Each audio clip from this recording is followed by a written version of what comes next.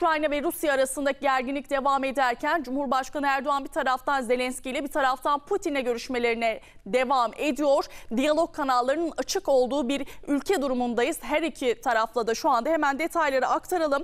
Cumhurbaşkanı Erdoğan bu telefon görüşmesinde Rusya Devlet Başkanı Putin'i yüksek düzeyli işbirliği konseyi toplantısı için en kısa sürede Türkiye'ye beklediğini ifade etti. Daha önce de yine görüşmek üzere Türkiye'ye davet etmişti ve Putin'in de bu anlamda sıcak baktığını söylemiştik, ekranlara getirmiştik. Rusya Devlet Başkanı'ndan da bu konuya ilişkin olumlu bir yanıt gelmişti Türkiye'ye karşı.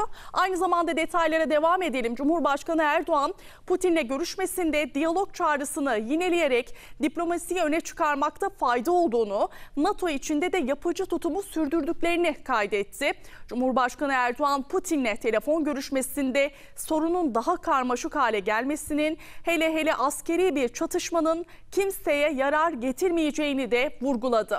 Cumhurbaşkanı Erdoğan Putin'le görüşmesinde dün olduğu gibi bugün de Türkiye'nin gerginliğinin azaltılması ve barışın korunması için üzerine düşeni yapmaya hazır olduklarını kaydetti.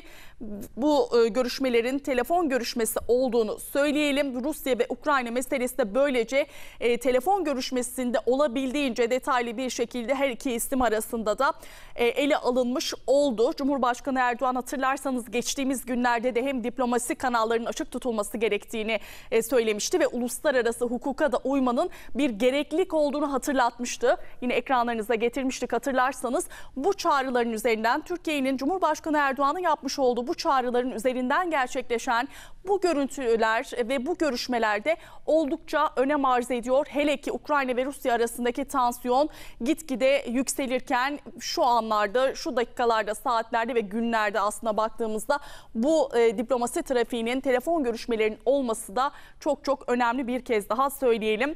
Kremlin'den zaten bu görüşmenin olacağına dair bir açıklama gelmişti Kremlin sözcüsü Peskov'dan ve o görüşmede artık gerçekleşti. Resmi kaynaklar bunu duyurdu. Cumhurbaşkanı Erdoğan ve Rusya Devlet Başkanı Putin'in telefonda görüştüğünü bir kez daha söyleyelim ve Cumhurbaşkanı Erdoğan aslında her zaman verdiği mesajları Putin'e karşı da telefonda konuşurken o görüşme esnasında verdi ve sağduyulu olma çağrısı genel itibariyle yapıldı. Ukrayna-Rusya meselesi telefonda e, olduğu kadar çok detaylı bir şekilde telefon görüşmesinde de ele alınmış oldu. E, bir kez daha şöyle bir hatırlatalım.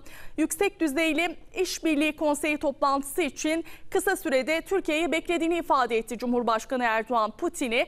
Putin'le görüşmesinde yine diyalog çağrısını yineledi diplomasiyi öne çıkarmakta fayda olduğunu bir kez daha hatırlattı ve NATO içinde de yapıcı tutumu sürdürdüklerini iletti kendisine.